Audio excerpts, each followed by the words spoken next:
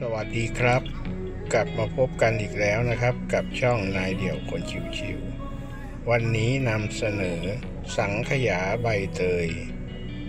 เดี๋ยวเราไปดูวัตถุดิบและขั้นตอนในการทำกันเลยนะครับ นี่คือวัตถุดิบในการทำสังขยาใบเตย วัตถุดิบของเราประกอบไปด้วย ใบเตยหอม น้ำตาลทราย นมข้นจืด เกลือ แป้งข้าวโพด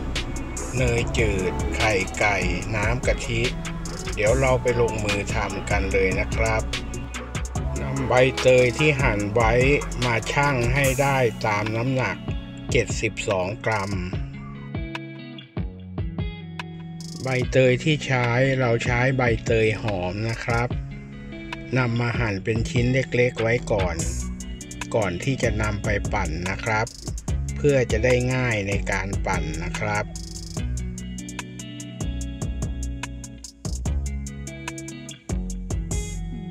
แล้วนำใส่โถปั่นนะครับ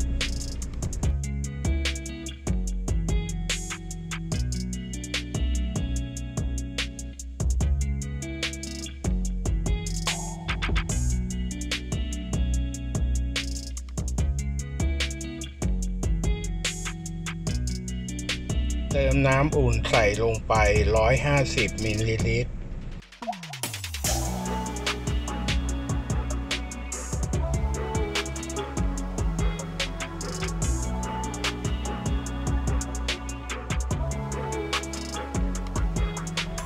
ปิดฝาโถแล้วทำการปั่นจนละเอียดนะครับ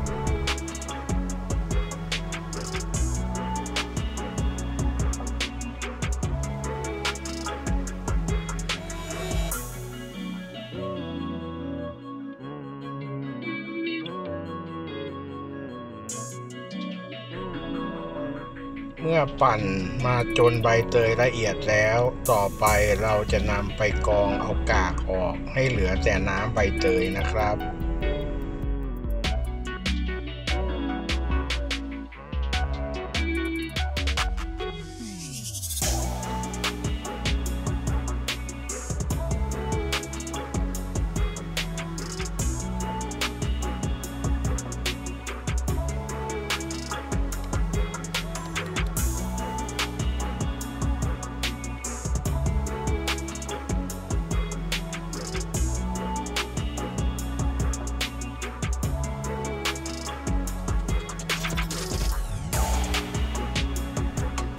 ว่าน้ำใบเตยมีความเขียวดีมาก ๆ เลยนะครับ และมีความหอมด้วยนะครับ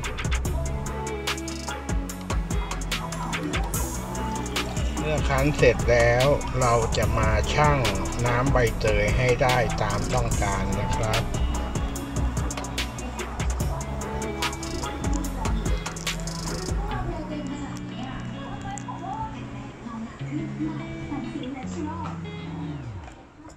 ต่อไปเราจะมาเริ่มทำสังขยาใบเตยกันเลยนะครับ เทไข่ไก่ใส่ลงหม้อแล้วทำการตีไข่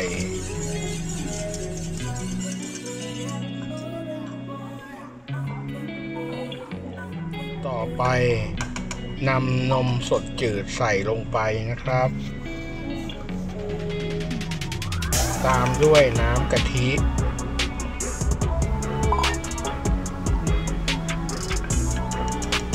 แป้งข้าวโพด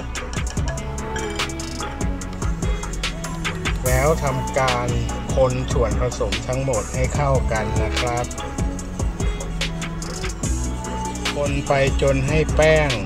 ละลายเข้ากันดีนะครับ ขั้นตอนนี้เรายังไม่ได้ตั้งบนไฟนะครับ เราจะผสมกันทั้งหมดให้เข้ากันก่อน แล้วจึงนำไปตั้งเตานะครับ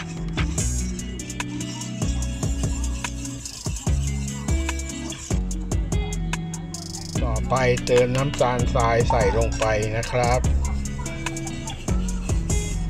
แล้วคนให้เข้ากันอีกครั้ง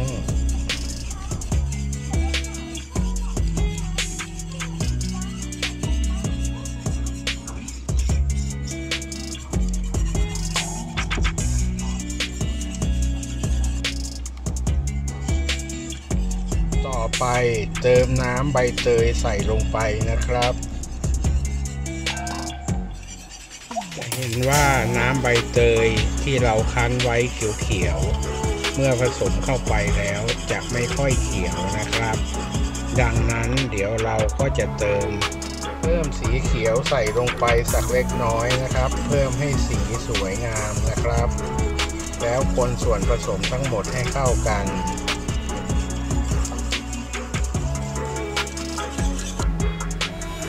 ไปนำหม้อที่ผสมทั้งหมดแล้วไปตั้งไฟ แล้วเคี่ยวไปจนสังขยาของเราข้นได้ที่นะครับ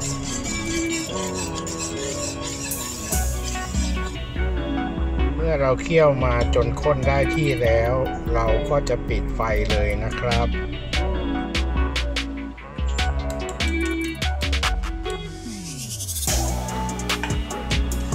แล้วเราจะนำเนยจืดมาใส่ลงไปแล้วคนให้ละลายนะครับ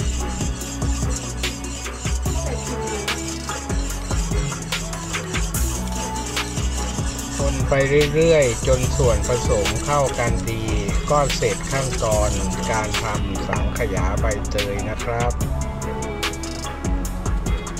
เดี๋ยวเราก็จะเทใส่ชามพักเก็บเอาไว้นะครับ สังขยาใบเตยของเราก็เสร็จแล้วนะครับ หน้าตาน่ารับประทานมากๆเลยนะครับนำไปทานกับขนมปังต่างๆได้เลย เดี๋ยวเราจะนำพลาสติกแรปมาปิดเอาไว้ก่อนนะครับ เพื่อป้องกันหน้าของสังขยาของเรา จะทำให้หน้าไม่แห้งนะครับสำหรับเมนูนี้ชอบก็กดไลค์ กดแชร์ กดติดตาม ให้กับช่องนายเดี่ยวคนชิวๆด้วยนะครับ และอย่าลืมกดกระดิ่ง เพื่อแจ้งเตือนเวลามีคลิปใหม่ๆ ลงจะได้ไม่พลาดการติดตามนะครับสำหรับเมนูนี้ก็ฝากไว้เพียงเท่านี้นะครับ แล้วพบกันใหม่เมนูหน้า สวัสดีครับ